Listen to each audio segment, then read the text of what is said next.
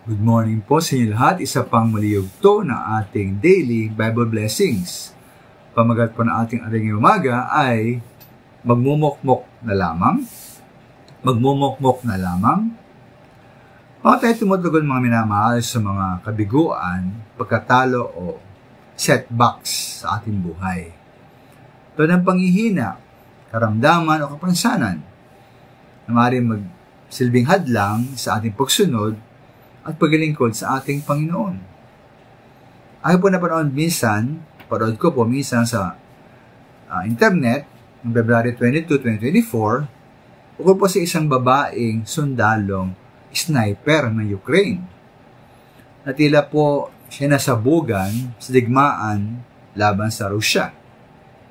Kaya po, babaeng ito na isang sundalong sniper ng Ukraine ay naputol ang kanyang kalawang binti. Ngayon po, siya ba'y nagmukmuk na lamang dahil putol ang kanyang binti? Hindi po. Pinalitan po ng artificial ang kanyang binti at siya po yung nagsisikap na makalakad muli. Bakit po? Para siya makabalik sa front line para muling lumaban. Ngayon po, maarahil maaari naman siyang tumigil sa paglaban na lang dahil siya nga po ay putol ang kanyang binti umuwi na lamang at magpahinga. Ngunit po sa kabila ng kanyang kapansanan, nagpasya pa rin siyang bumalik sa labanan at lumaban.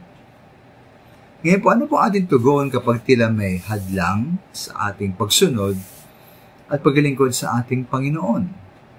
Tulad ng pagtanda na maaring dahil dito, ating maramdaman ang panghina o karamdaman umaring tayo magkaroon po ng kapansanan o limitasyon sa ating pagkilos. Tayo binitigil na, magumukmuk na lamang sa ating bahay, o at mong isikapin na lumaban pa rin at magpatuloy sa ating pagsunod, paglingkod at pumunga para sa ating Panginoon.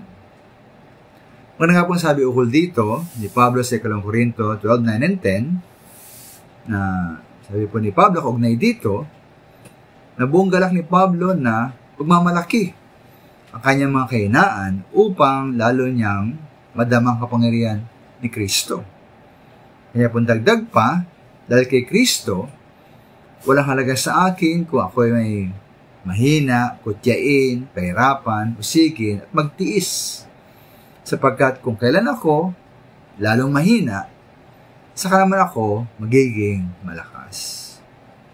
Kaya naman habang kaya pa, nawa tayo patuloy lang sa ating pagsunod, paglingkod, at pumunga para sa ating Panginoon.